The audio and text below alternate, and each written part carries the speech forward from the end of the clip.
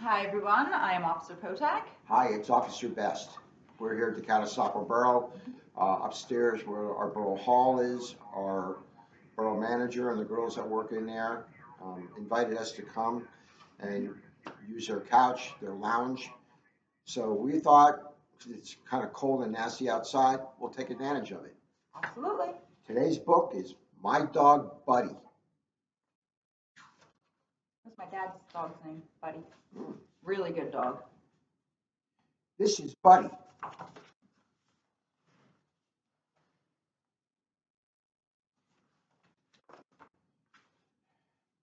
Dad tells Buddy to sit.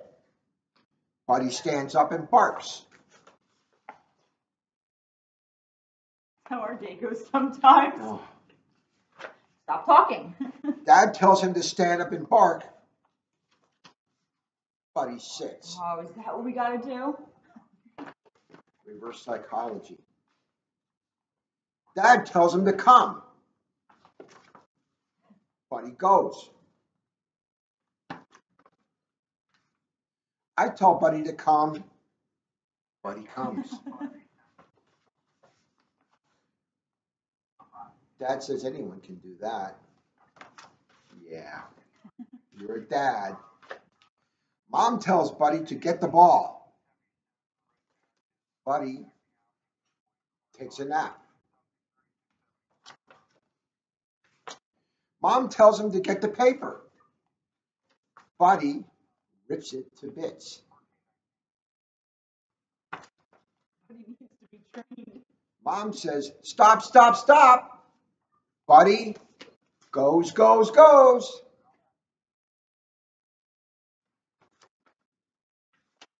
I ask for a kiss. Buddy gives me 10. You have to know how to talk to a dog.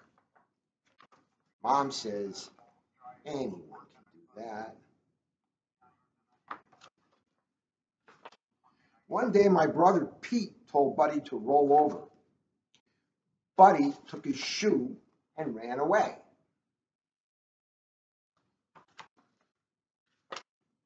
Buddy ran down the road. He ran into Mrs. Crumb's house. He ran all the way to the park.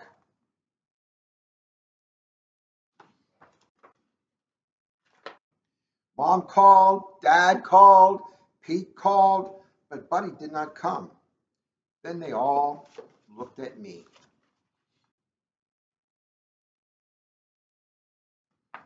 And probably said, Call your dog. I called too, and Buddy came. I knew he would.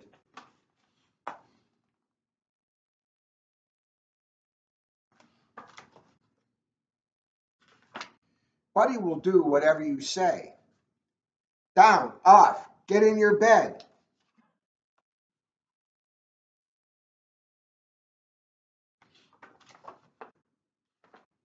You just need to know how to ask. Time for hugs.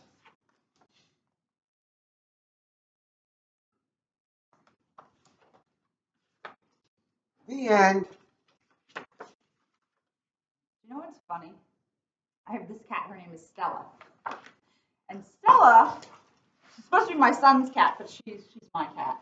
And if my husband or my son try to catch Stella, she runs as fast as she can. She hides. And if I call her, Stella, get over here, the cat will come. Or if I tell her to stop, she'll stop and stand there. But she will not listen to them. Normally, cats don't listen to anybody. I mean, the cats have their own attitude. But this cat, Stella, stops and listens to me. It's amazing. Well, I find that a lot of people listen to you too. That's true. That's true. You gotta know. You gotta know how to talk to people. You know, that's that's part of life is learning how to talk to different kinds of people. I'm still in the learning. well, that's only child syndrome. I had two sisters and a brother, so I was well aware and I had to deal with people. Wait a minute, what are you saying? I have no people skills? You're learning. You're learning. I'm in the learning phase.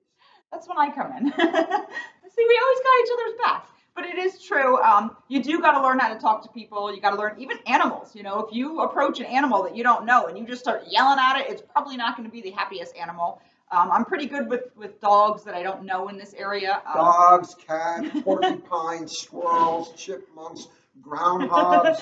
pigs. I have a couple Pigs. selfies with pigs. Pigs.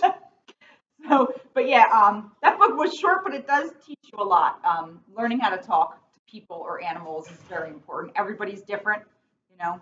Just learn to talk to them the right way. Thanks for that advice. Thanks, Teach.